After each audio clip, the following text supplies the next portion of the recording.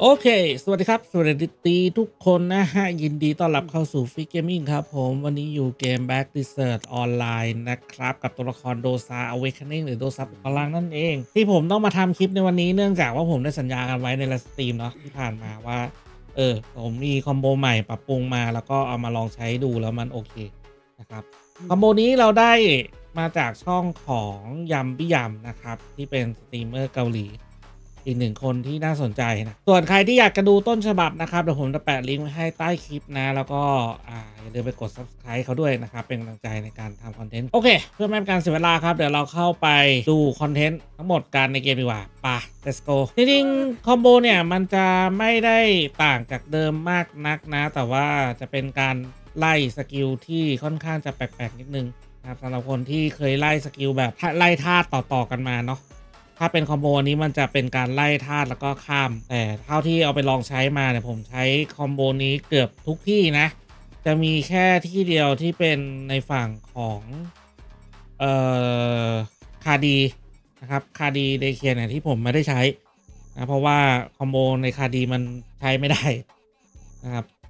เออถามว่าทำไมใช้ไม่ได้ เพราะว่าคาดีมอนเกิดเป็น wave ครับ ใช้ครั้งหนึ่งแล้วมันยืนรอกันโคตรนานเลยนะครับ ก็บางทีแบบกูดาวมาไม่ทันบ้างหรือบางที มันรอนานไปผมว่าใช้คอมโบธรรมดาก็สามารถเคลียร์คาดีได้แล้ว นะ โอเค อย่างที่ได้ดูกันไปในคลิปวิดีโอเอ้ไม่ใช่ในคลิปวิดีโอสิอย่างที่ได้ดูกันไปใน live stream นะครับ ทั้ง4ี่ห้าวันที่ผ่านมานะ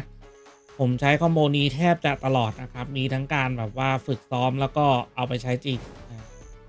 แล้ววันนี้เรามาแชร์ให้ดูกันนะครับผมเดี๋ยวที่เราจะต้องไปดูกันก่อนเลยนั่นก็คือตัวของ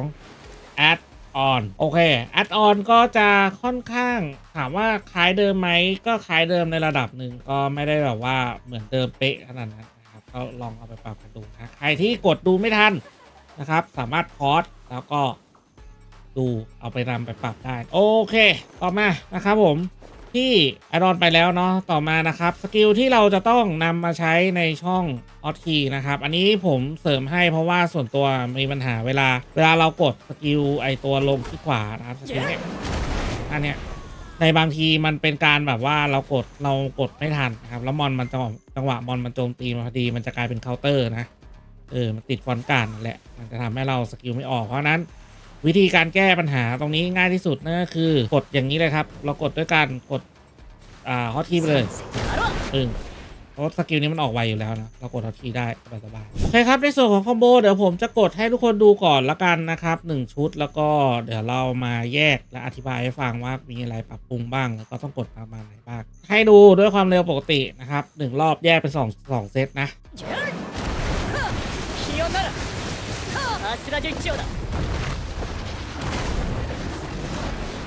เค อันนี้คือเซตที่หนึ่งนะครับ เซตที่สองนะฮะ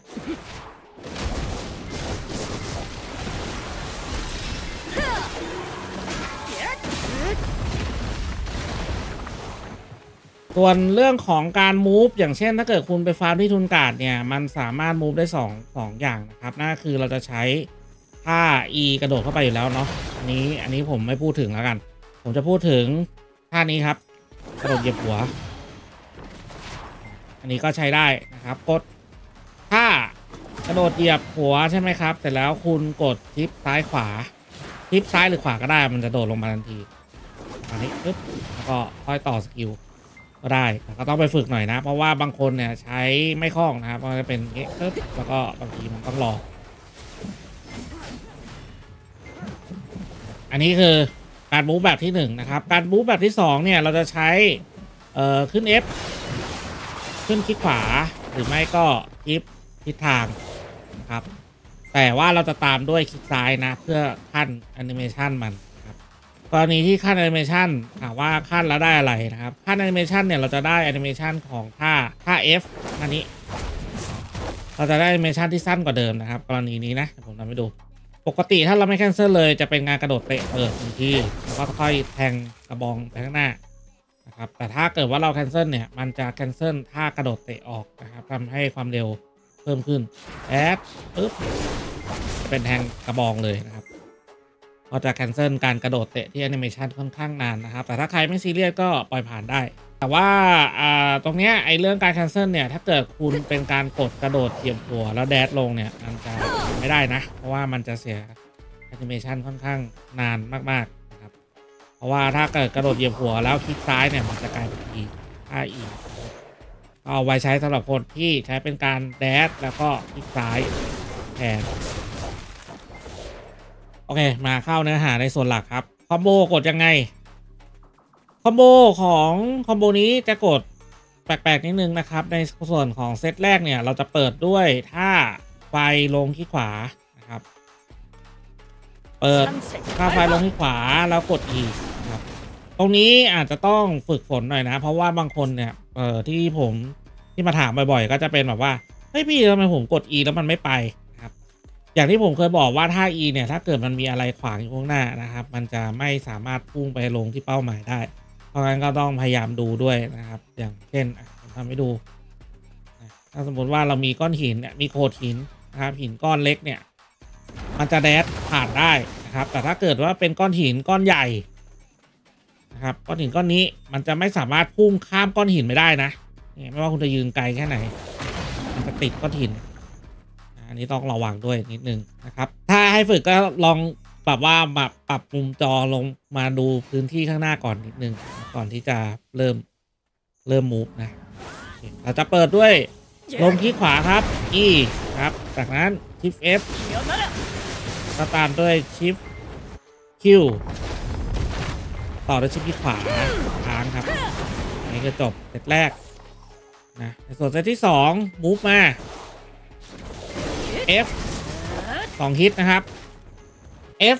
พยายามอย่าใช้ถึงจบแอนิเมชันมันนะ เพราะว่าแอนิเมชันมันค่อนข้างนานกว่าจะทุกประการแบบนี้ ใช้แค่1-2ฮิตพอกรณีที่คุณไม่ได้ฟาร์มกับชาย ครับ กรณีที่คุณฟาร์มธรรมดาคนเดียว ไม่ต้องไม่ต้องใช้ถึง2คิดนะครับเอ้ไม่ต้องใช้ถึง3คิดนะให้ใช้แค่2คิดพอ ไม่เกิน2คิดแต่ส่วนตัว ผมอาจจะเพราะว่าเกียร์มันสูงในระดับหนึ่งแล้ว มันถึงได้ใช้คิดเดียวได้นะครับผมก็จะใช้ประมาณนี้ปึ๊บนี้เลยครับจะจบแอนิเมชันแค่นั้นโอเคต่อจาก F ครับ เราจะใช้เป็นทิป E ค้าง ทิปคลิกซ้ายค้างลากยาวเลยนะครับทิปคลิกซ้ายไปจนถึงลงคลิกซ้ายแล้วตามด้วยลงคิว ตัวชิป E ไปชิปคลิกซ้ายเนี่ย มันก็เหมือนกันนะครับ อยู่ที่ตัว AP ของคุณถ้า AP ไม่พอก็สามารถลากชิป E แล้วก็ E ค้างได้นะครับลากตรงนี้ได้นะแต่ถ้าเกิดว่า AP ของคุณพอกับที่คุณฟาร์มแล้วคุณรู้สึกว่าเอ้ยอยากได้ความเร็วในการ ยิงสกิลที่มันเร็วกว่านี้นะครับ เราสามารถกดชิป E แล้วต่อ shift คลิกซ้ายได้เลยนะครับจะเป็น